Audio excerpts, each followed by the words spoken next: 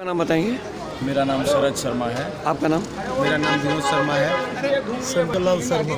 इसे विनोद बाबू आज परशुराम जयंती जो पूरे भारत में मनाई जाएगी भारत के विश्व में मनाते हैं। जहाँ जहाँ ब्राह्मण समाज है ज़रूर परशुराम जयंती मनाता है। क्योंकि एक परशुराम ही है जो ब्राह्मणों की रक्षा की है और उन्होंने कई प्रकार लिखा आज जो परशुराम जयंती संबल में मनाई गई इसके बारे में बताएँगे परशुराम जयंती हम ब्राह्मणों के लिए बहुत बड़ी दिवाली वर्ष जैसा पर्व है। ये हम लोग के लिए बहुत बड़ा पर्व है। हमारा गर्व का दिन है आज ताकि हम लोग अक्षय तृतीया के दिन में परशुराम जयंती का पालन करते हैं और श्री परशुराम जी का जन्म उत्सव मनाते हैं।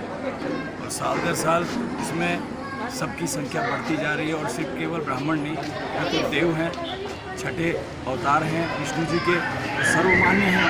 सारे समाज इनको पूजने के लिए बैठे रहते हैं कि कब शोभा यात्रा निकले उनके दर्शन करें और प्रसाद में सब अनुग्रहित होते हैं। बहुत अच्छा माहौल बनता है। दिन प्रतिदिन बहुत अच्छी क्या हो रही है तो सर जो प्रोसेसन निकला कहाँ कहाँ से निकला?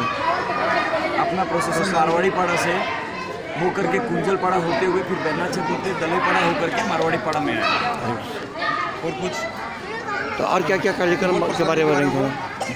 जो दो दिन में मैं तो यही चाहूँगा कि सब जितना हो सके सब एक साथ मिल करके हर साल ये कार्यक्रम को आगे और अच्छे से बढ़ाएँ।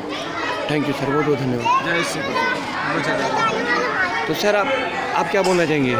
जो जो कार्यक्रम धीरे धीरे जो संख्या बढ़ रही है और आगे क्या क्या कार्यक्रम सर? और आगे क्या करेंगे जी पृथ्वी में एक ऐसा अवतार था। नहीं और क्या क्या कार्यक्रम करेंगे अब इसके बाद? अभी इसके बाद प्रसाद का है और पूजा वगैरह हो गई सारी और अभी प्रसाद वितरण हो रहा है। थैंक यू सर प्रसाद वितरण के बाद में और कोई कार्य? नहीं थैंक यू